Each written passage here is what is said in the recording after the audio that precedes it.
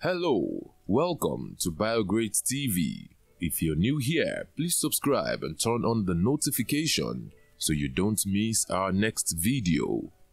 The history of Ivory Coast Ivory Coast or Cote d'Ivoire is a country in West Africa. Its capital is Yamoussoukro, while its economic capital and largest city is Abidjan. Guinea, Liberia, Mali, Burkina Faso, and Ghana are bordering countries to Ivory Coast. It is also bordered by the Atlantic Ocean in the south.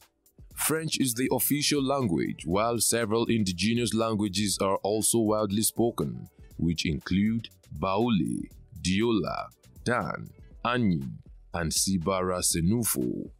In all, there are about 78 different languages spoken in Ivory Coast. The major ethnic groups are Akan, which is the largest, Gur Mande, and Krous.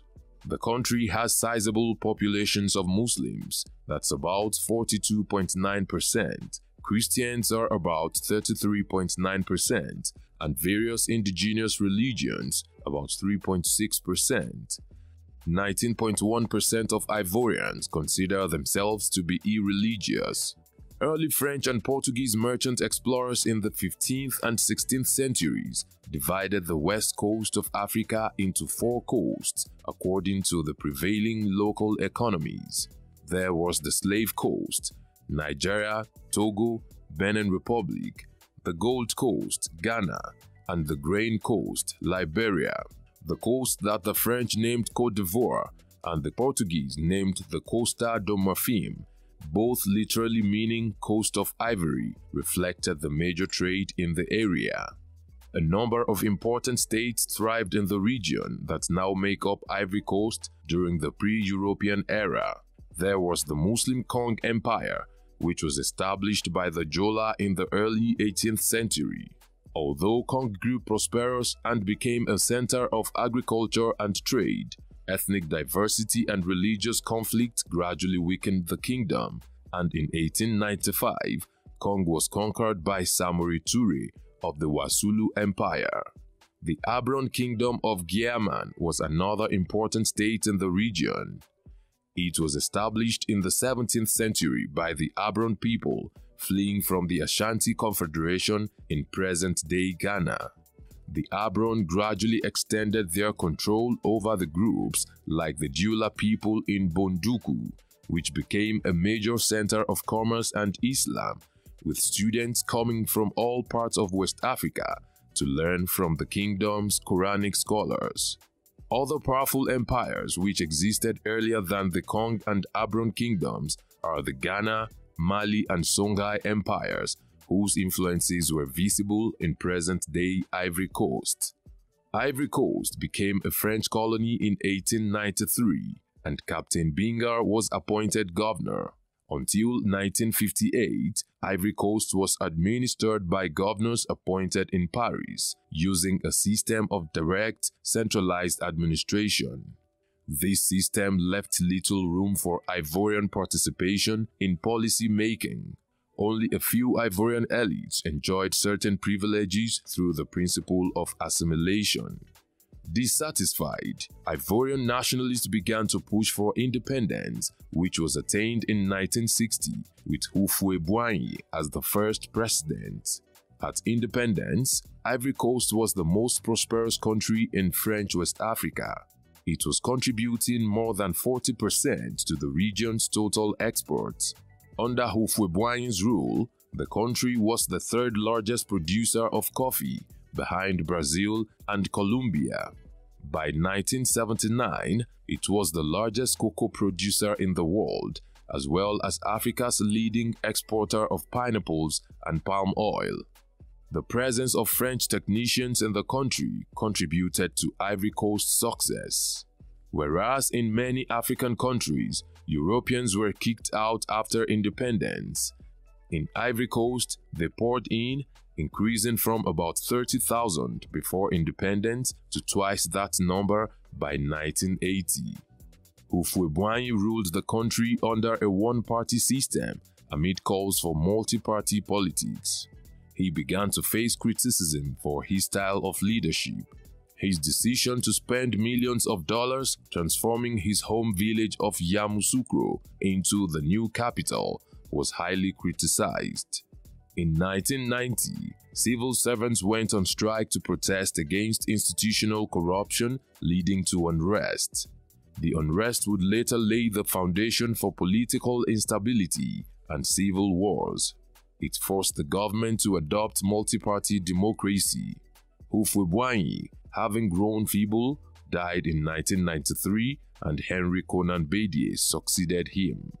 Bédié was re-elected in 1995 as president. Unlike Houphouët-Boigny, who managed ethnic issues with care, Bédié's approach heightened ethnic tensions and eventually led to two civil wars in the following decades.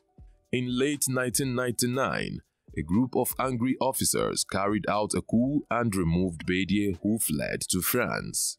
General Robert Guei was installed in power, the new leadership worked to reduce crime and corruption, which had become obvious at the time. The following year, Laurent Gbagbo emerged victorious in the presidential elections. The election was anything but peaceful, and it led to a crisis which eventually became full-blown civil war in September 2002. Even though peace agreements were signed in January 2003, the crisis resumed in 2004. When Gbagbo's term expired in 2005, elections could not be held because of the war. Another peace accord was signed in March 2007 and elections eventually held in November 2007, with Gbagbo losing to former Prime Minister Alassane Ouattara. Supporters of Gbagbo disagree and declared Gbagbo to have won. He was inaugurated for another term.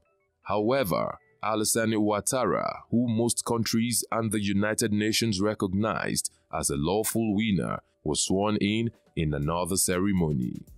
This crisis led to Ivory Coast's second civil war between 2010 and 2011. When the war ended in April 2011, after Gbagbo was taken into custody, the country had been severely damaged. Later in January 2016, Gbagbo was taken to the International Criminal Court in The Hague, which the first former head of state to be so taken.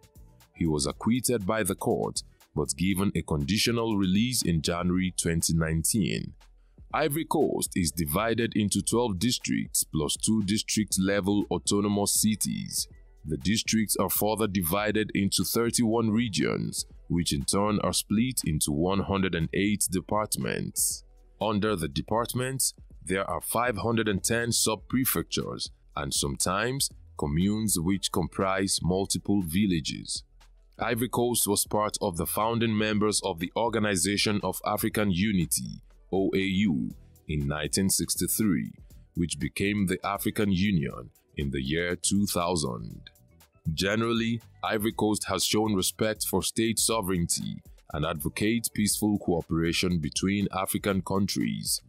It is also a member of the Organization of Islamic Cooperation, La Francophonie, Latin Union, and South Atlantic Peace and Cooperation Zone.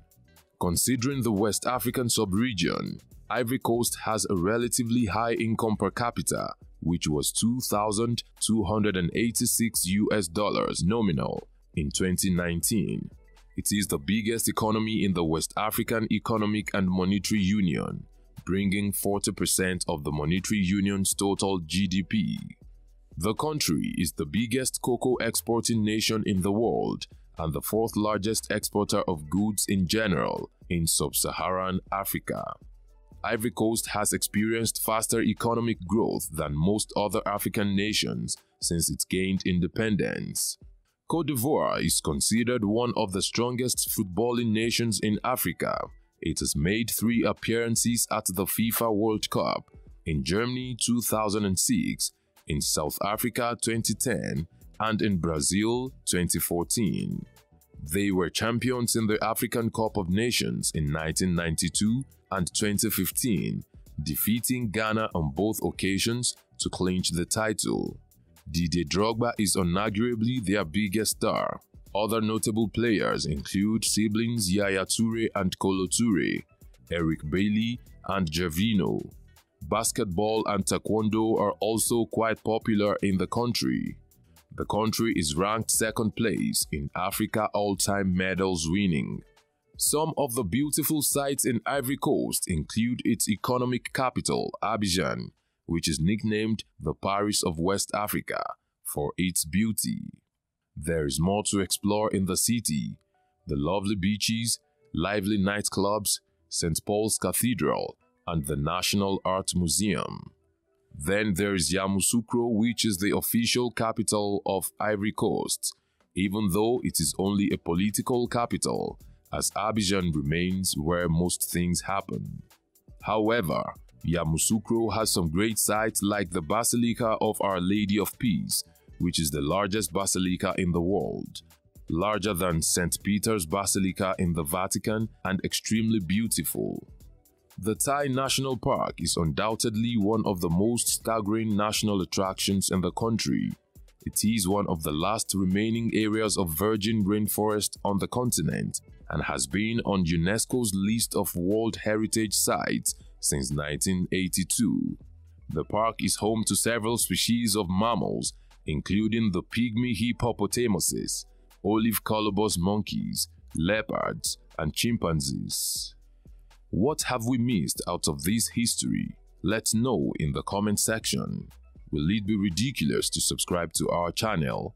If no, please like this video, share and subscribe to our channel.